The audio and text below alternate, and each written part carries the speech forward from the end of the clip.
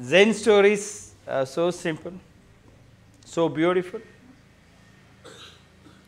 And there is always a deep down value and meaning. Nothing in Zen exists on the tip of the iceberg. Like the Bible says, knock and the door shall be opened. It is at the tip of the iceberg. Ramana Maharshi went a little more deeper. Ask who am I? And Zen is only one. The real scuba divers. All others are just swimmers.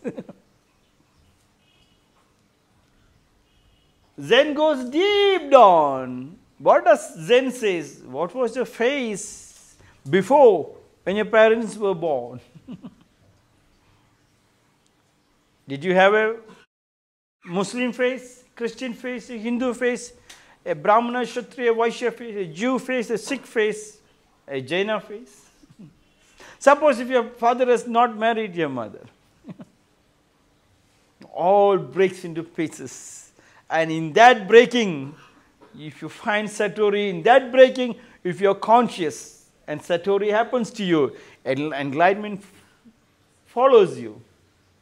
That path is the most beautiful path to start